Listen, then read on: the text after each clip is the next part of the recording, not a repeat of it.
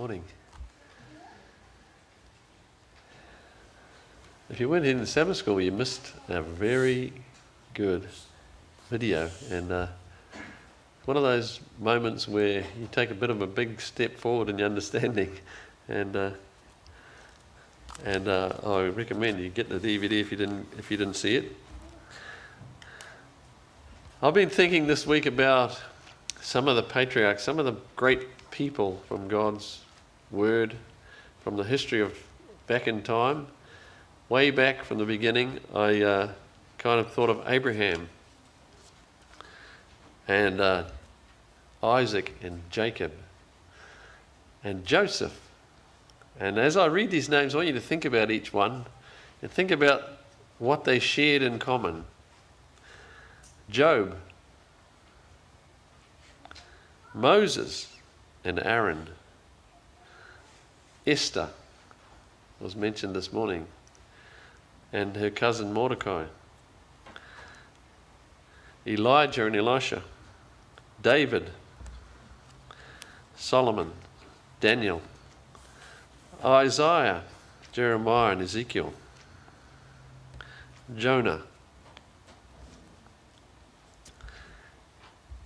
What was something they shared in common? Something that I realized about them was they had massive influence in their time with governors, pharaohs. They actually changed history. They were ordinary people, but by standing for the truth in their time, by trusting in their God and by obeying Him, stepping up, they had a massive influence on how history went in their time and even to our time. You know, there's a direct line from Adam, Seth, Enoch, Methuselah, Noah, and Shem. Direct line of truth. They talk to one, talked to the next, and they passed on the truth. And Abraham, by the time we get to Abraham, he lived in a time of almost universal paganism. People sacrificed their babies to appease pagan gods. And uh, I'm grateful that we don't live in those times and it hasn't got that bad in our time. But do you think they had to be brave? All of those people. Christian faith, you know, faith in God is not for namby pambies, is it? These people stood for the truth in a difficult time. So I wanted to focus really on one young lady called Esther. And it's an amazing book, Esther, because it doesn't mention God. But I want you to turn, if you would, to Esther, and um, I'd love to read you the whole story, but you'd probably get bored with my voice.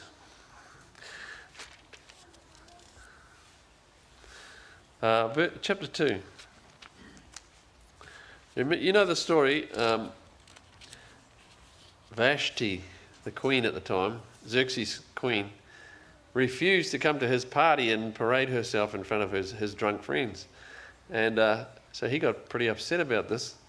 And um, from my reading this week, I understand he was planning some military excursions, and he had, you notice he had all the military um, people at the party. He, and, he, and this um, parading of his wife would have kind of, he hoped, encouraged loyalty. But she refused. And so he said, Right, we're going to get rid of her. She's never going to come into my house again. And uh, somebody suggested, Why don't we get a new queen? So they went looking all around the kingdom for the best looking girls. And Esther a young Jewish girl, was in the group. She was called in too. And it doesn't really say how, whether it was whether he was uh, she was pushed into it or she volunteered. But let's have a look here. Her, her, her Jewish name was Hadassah, wasn't it? Starting at the beginning. Later, when the anger of King Xerxes had subsided, he remembered Vashti and what she had done and what he had decreed about her.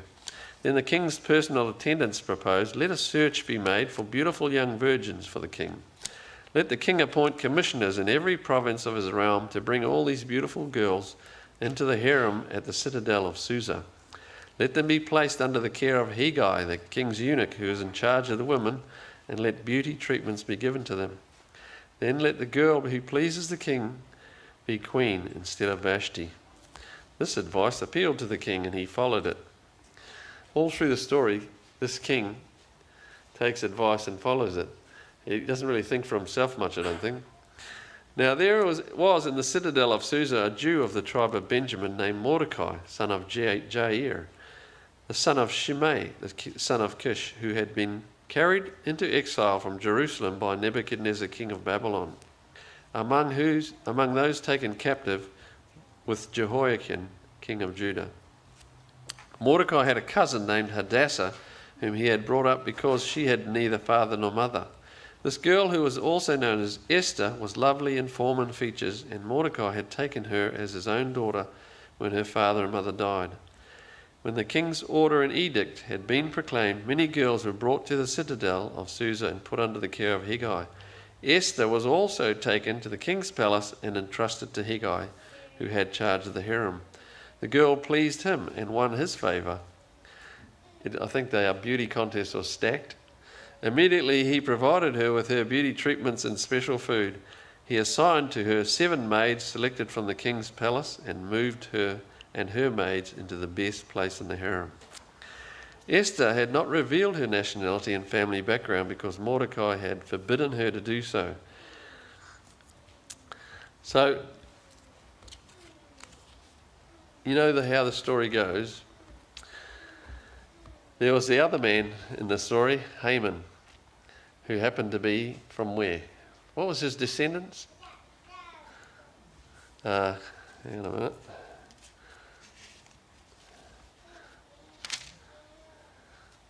He, he was an Agagite. Did, did you realise that? Who was, who was an Agag? Remember who Agag was? A king who Saul was supposed to get rid of. And he got in trouble from the prophet Samuel and from God because he never disposed of King Agag. And somehow one of his descendants survived, Haman. There's probably more too, but Haman hated the Jews. And he particularly hated Mordecai because Mordecai wouldn't bow down. Now, Mordecai didn't hate Haman, but Mordecai had a king who was greater, and his name was God, Jehovah. And he, he wouldn't bow down to any man. He wasn't being disrespectful. He wasn't being disrespectful to Haman, but Haman read it as that. But Haman had this desire to be worshipped, didn't he? Chapter 3, that's what I was looking for.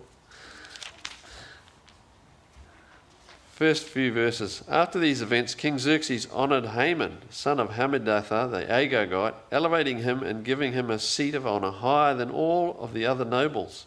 All the royal officials at the king's gate knelt down and paid honour to Haman, for the king had commanded this concerning him. But Mordecai would not kneel down or pay him honour. Then the royal officials at the king's gate asked Mordecai, Why do you disobey the king's command? Day after day they spoke to him, but he refused to comply. Therefore they told Haman about it to see whether Mordecai's behaviour would be tolerated, for he had told them he was a Jew. When Haman saw that Mordecai would not kneel down or pay him honour, he was enraged. Yet, having learned who Mordecai's people were, he scorned the idea of killing only Mordecai. Instead, Haman looked for a way to destroy all Mordecai's people, the Jews, throughout the kingdom. Yeah, why just get rid of one? So he, he uh, was very egotistical, wasn't he? And, and you see on the other side, Esther, very reluctant. And, uh, but the opportunity was there. They, the whole Jewish nation who lived in, in, under this king went into mourning. They all sat down in ashes in sackcloth and mourned because they, it was a day set, Haman set a day when he was going to kill them all, and they cried and prayed and fasted and mourned. And Mordecai in chapter 4, Mordecai talks to Esther.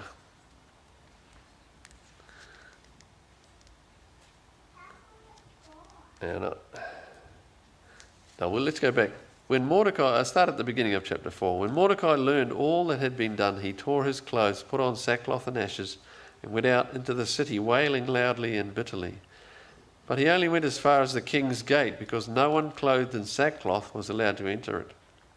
In every province to which the edict and order of the king came, there was great mourning among the Jews, with fasting, weeping, and wailing. Many lay in sackcloth and ashes. When Esther's maids and eunuchs came and told her about Mordecai, she was in great distress. She sent clothes for him to put on instead of his sackcloth, but he would not accept them. So then, down in verse uh, 8, he, he, Mordecai tried to get the message to Esther, because she was living in the king's uh, palace now, to explain to her and show her that she needed to go and beg for mercy and plead for her people. And she said in verse 11, all the king's officials and the people of the royal provinces know that for any man or woman who approaches the king in the inner court without being summoned, the king has but one law that he be put to death. The only exception to this is for the king to extend the gold scepter to him and spare his life. But 30 days have passed since I was called to go to the king. And then these famous words. When Esther's words were reported to Mordecai, he sent back this answer Do not think that because you're in the king's house, you're alone of all the Jews will escape. For if you remain silent at this time, relief and deliverance for the Jews will arise from another place, but you and your father's family will perish. And who knows but that you have come to royal position for such a time as this? And then Esther sent this reply to Mordecai Go gather together all the Jews who are in Susa and fast for me. Do not eat or drink for three days, night or day. I and my maids will fast as you do. When this is done, I will go to the king, even though it is against the law, and if I perish, I perish. So Mordecai went away and carried out all of Esther's instructions. So Esther was a even though she was shy, and it's like coming up here to speak actually, you always feel like you're way out of your depth. But uh, we, we, uh, we come up here because God is great, you know, and, and, and He supplies these amazing uh, ideas. And they, she knew that there was someone greater than her, someone greater than the king, and she just had to pray. So she, not just pray, but fast. It was urgent.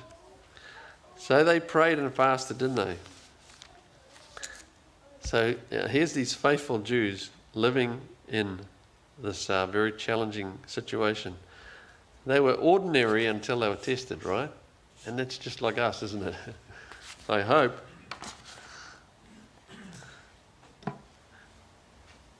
You know, when I was young, I don't know if some of you my age might remember a singing group called the Seekers. I just want to talk a little bit about how the world's changed. The Seekers had some songs like this Sinnerman. When the stars begin to fall. Remember that? We shall not be moved. These were pop songs that did really well in the charts. Uh, turn, turn, turn. Know that one? There is a time for every season, straight out of Ecclesiastes. You know, my school, I brought my little school songbook. Somehow it's been preserved. When I was at intermediate, the cover's gone, but I made my own cover. And uh, this is mm, this is in the late 60s, right? 40, 47 hymns in the front. Awake my soul. Fight the good fight, the King of love. Jesus lives, immortal, invisible, God only wise. This is my school songbook. You know, there's those other ones like the Camptown races, but there in the front of it is 47 hymns. And I also got one of these, I don't know if you did. a New Testament given to me by my school. Now, I don't know, I'd love to talk to you kids about this. Times have changed, haven't they? Christianity, you know, at least the principles and the values used to influence society a lot more than they do now. Now, Christianity is mocked, you know, by the educated people. Today we give knighthoods to brewers and we mock the Women's Christian Temperance Union. They're basically the only voice that's standing up and speaking against alcohol. The worldview of the general population has changed in 50 years. And uh, so the world seems to be moving away from Christian faith in the Bible. So, what sort of results would you expect? Moving away from God, who is love, you're only going to go one direction towards Satan, right? Let me show you in Isaiah what the Bible says about Satan. Lucifer, as he was known in heaven. You wouldn't name your child Lucifer, but do you realize God gave him that name? And we only associate it with evil now, don't we? Isaiah 14.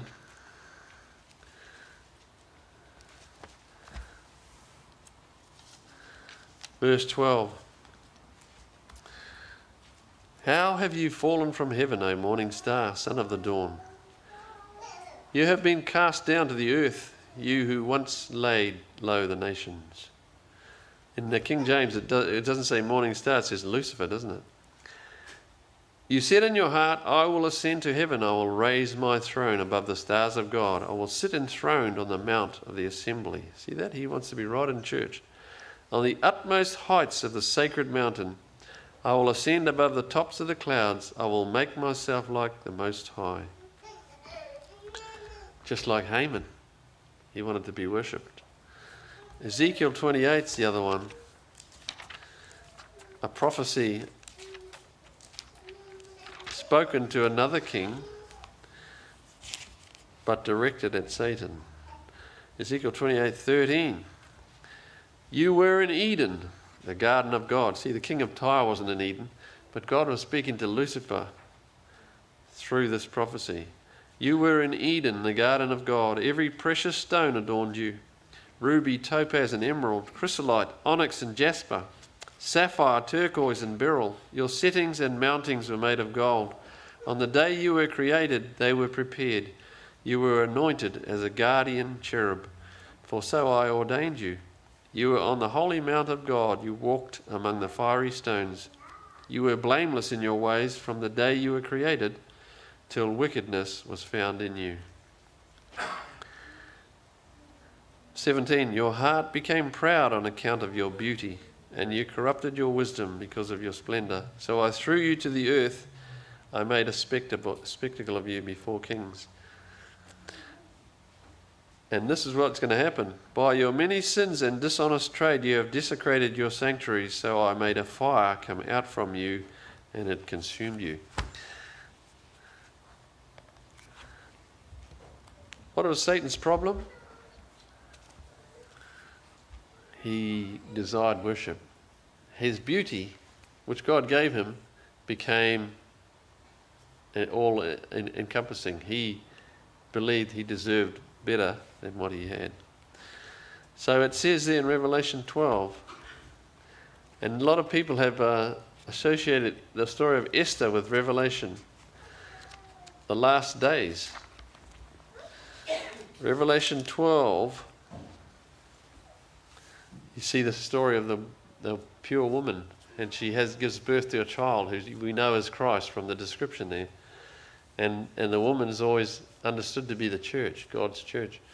And she gives birth to this, this child who's going to rule, but Satan gets ready to devour the child as soon as it's born. And you know what happened when he was born? Satan almost did devour him but God intervened. And then it says in verse 17, the last verses, the last verse of chapter 12, the dragon was enraged at the woman and went to make war against the rest of her offspring, those who obey God's commandments and hold to the testimony of Jesus. So there's a war between the devil and the church. You know, and I came into the church and I heard about this and I thought, wonder where this war is. Doesn't feel like a war. but it's a war of ideas, isn't it? You can't shoot Satan, it's not going to do any good. And the war in heaven that God had with Satan, with Lucifer, was a war of ideas, right? What's going to win? Who's going to win? Which government do we want? So it's not, a, not about guns and bombs, but uh, there's war, and I think it does us good to realise we're in a war. And so some of the ways that we go about war, some of the, what are some of the tactics of war can you think of?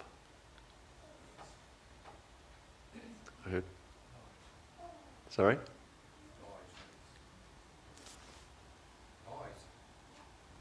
Oh, sorry, I can't understand you. Oh, lies. Right, yeah, yeah. Propaganda was the word I had. Yes, very good. Propaganda is a, is a tactic of war. Not just war, it's a tactic of, you know, changing society. This is how you change people's thinking. Propaganda is a classic.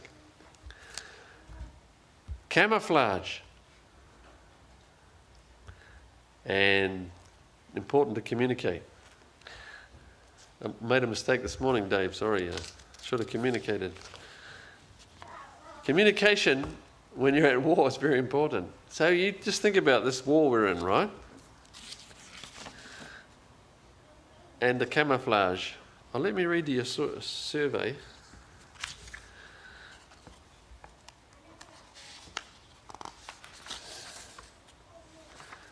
how the devil uses camouflage. Two international surveys were conducted during 91 and 93 by the International Social Survey Program. And this is the University of Chicago. In 91, subjects were asked to agree or disagree with a number of statements. One was, I definitely believe in the devil. The percentage who answered yes were, in the United States, 45%, New Zealand's in fifth place down here, 21%. Yes, I definitely believe there's a devil. And it goes right down to like 3%. It appears that Satan is considered alive and well only by large numbers of the public in the US and Northern Ireland. However, these numbers are dropping. In the US, from 91 to 2007, belief in Satan as a living entity dropped from 35% to 24%. Satan is, this is how he's portrayed in modern culture, right? Satan is a rather humorous character with a tail dressed in a red suit, smelling of brimstone, and carrying a pitchfork. His prime activity appears to be to roam all over the earth, trying to persuade individuals to sign a contract which sells their soul to him in exchange for special powers or wealth. Satan does not seem to be particularly intelligent because he's easily tricked by humans. He's a type of warden who has administrative responsibilities over hell, where some individuals go after death to be tortured for all eternity. That's not true, is it? So, most of the people's understanding of Satan, even if they believe he's real, is completely off the truth.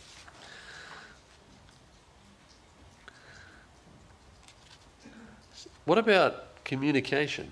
We live in the age of communication. We're have our mobile phone in our pocket, we are available every moment. I'm not sure about you, Grant. Have you got coverage out there in the bush? Good. It's, that's what I love about Tui Ridge. You can't, you can't be reached. but let me read to you. I don't know if you've been watching. I was going to put some pictures up and show you. Um, there was a massacre. Six people were killed recently by a young man in the States. And um, it was pretty horrifying because he went and put videos on YouTube just before he did it, right? I don't know if any of you saw it on the news. Or... Pretty horrifying. Uh, his name was Elliot Rodger, son of a movie director. His dad helped to make the movies, um, Hunger Games movies, which I haven't seen, but I've heard they're very good. You know, and now after I've read this, I don't really want to see them. But young people really loved those movies, and apparently they were a series that depicted young people killing each other as a survival sport in a dystopian police state society. But the media didn't really talk about the background of Elliot. They, they said he had mental problems. He'd always been distant from his family. He possibly was autistic. He never fitted in. And they never really talked about him being a product of the media programming that we are all surrounded by, right? I don't know if you you can actually get his whole manifesto, 140 pages online if you want to read it. I only read the first page and I was shocked. Uh, how he believed that he was superior to everyone else. He deserved all the best things in life, especially women, and none of them responded to his goodness so he killed them. And uh, ended up killing himself. But horrific uh, story, really. And I don't think he's going to be the last because we live in this age when we're taught, you know, through the media, it's great to be materialistic, have as many things as you can, be better than everyone else. You are very The,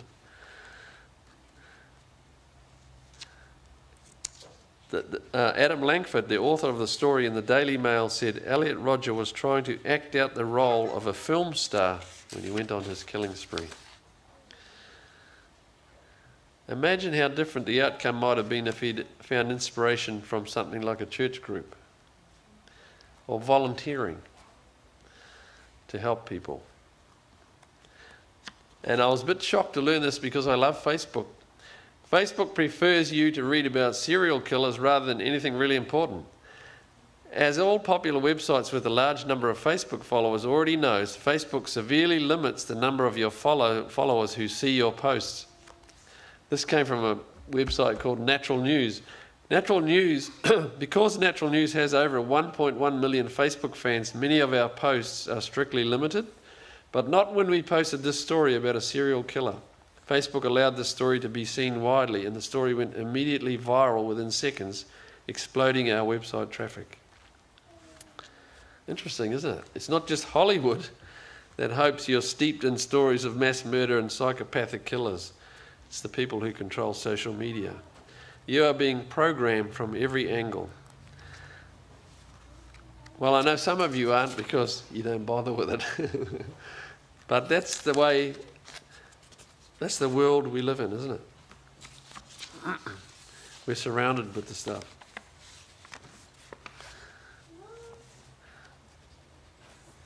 So, what are the results? what are the results of a world that moves away from God? Let me read some of this. I, I uh, smiled when I read this because some of you will remember too. when we were young, we put out empty glass milk bottles outside the front gate each night, along with the money for tomorrow's milk.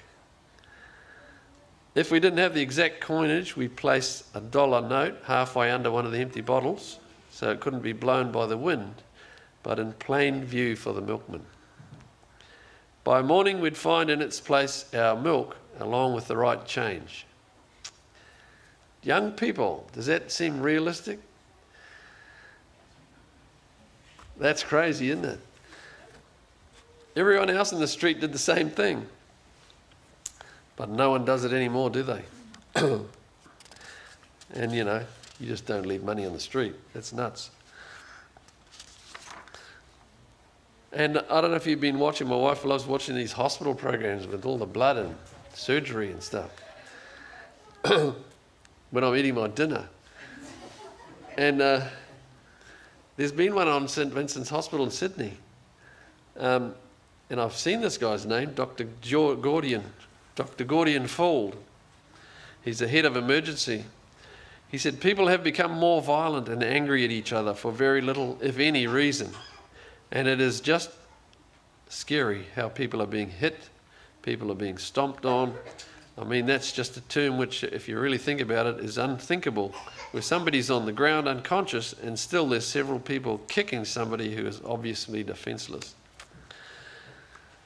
He said, I think we've just, it comes down, in my opinion, we've become a more angry, violent, vicious society. If you turn anywhere, be it the news, be it the video games, be it anything else, even a football match, you know what really is put up there first is somebody's had a terrible tackle or a head clash.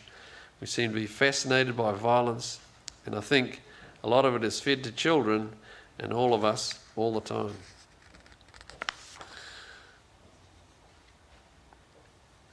Seven hundred and sixty-one patients were admitted to public hospitals in Brisbane after being hit, struck, kicked, twisted, bitten, or scratched by another person between 2011 and 2012.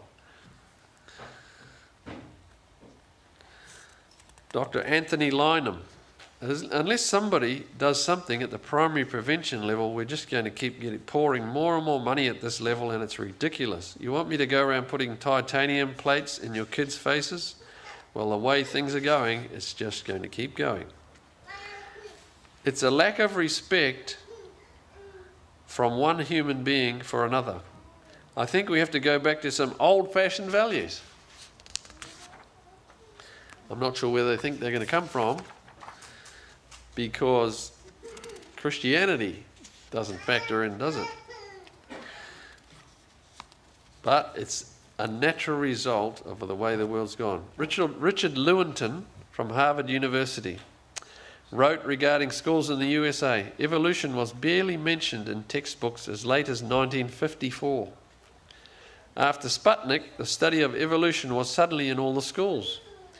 Over the next decade, evolutionary curricula spread from the USA and became the norm in most Western countries, filtering from the evolutionary focused university system right down to primary school level and often to the children's parents. As a result, the background thinking of people regarding politics, religion, and morality changed dramatically as well.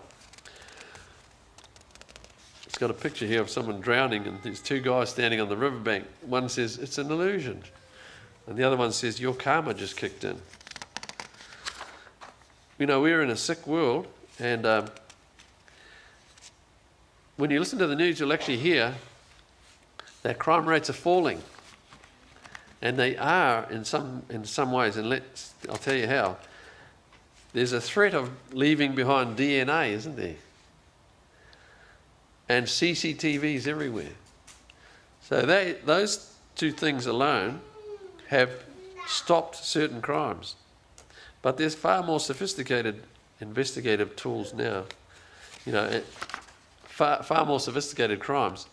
On the internet, where all manner of fraud is rife, such as stealing passwords and raiding bank accounts. Criminal gangs raid bank ATMs using devices. Corporate crime, drug cartels take extraordinary measures in moving their product around the world. Prominent UK atheist AC Grayling recently joked, You can see we no longer really believe in God because all of the CT cameras keep watching on us true, isn't it? Remember? When I, when I grew up, we thought God was watching us. And He is. it's a great way to live. Can we live the way we live if God's watching us? So, you know, Elliot Rodger really is just a result. He's just a natural result of uh, a world that's moved away from God. So, as we heard on the video this morning, the world's cursed, isn't it? Not because God cursed it, but because of the results of moving away from Him. Selfishness rules. God predicted this. Does our community still need Jesus' love? Unselfishness, I think it does. And what we offer, I believe what we offer is, this, is the answer to this problem. Just like the ordinary people in Scripture who change history by their faith, we are influencing people around us. for good, for evil. So, are you a secret agent? God doesn't have any secret agents. We need to blow our cover. Jesus needs you, needs me to show people his love. Jesus, I've found, is always where people need something, especially where they need good news. And uh, that's why you find, I don't know if you ever listen to literature evangelists telling their stories. They working, they're always out there working where Jesus is. That's why they have such a good life, isn't it, Joy? That's why it's such an exciting work, because you're kind of out there where Jesus is, helping people. And uh, and it's and it's only for the brave though. So Jesus needs you, and I think, but the secret is, just in closing, the secret is not to go out and knock on doors tomorrow. The secret is to get close to Jesus, isn't it? And I realised listening to the man talking on the video this morning, I need to study my Bible more because, man, that was amazing.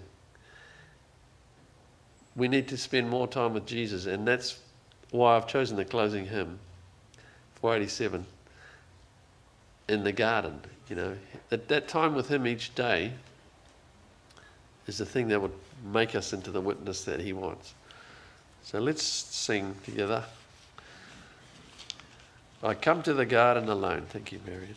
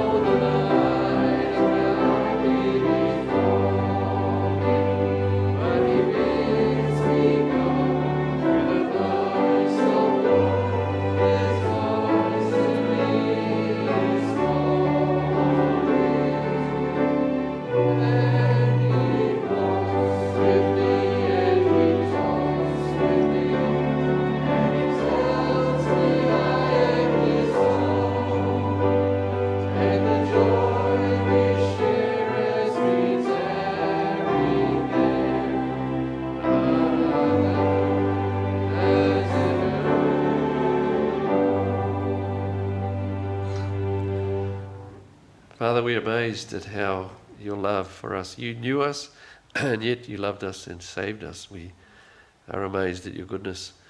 Lord, uh, may we commit to making more time for you in these coming days as Jesus' return gets closer. May we subtract unnecessary things out of our lives to make time with you. that we can grow to be the, the uh, faithful witnesses that you wanted us to be. And uh, thank you for trusting us with your message of good news. Please empower us to go and tell people around us how good you are. We pray in Jesus' name. Amen.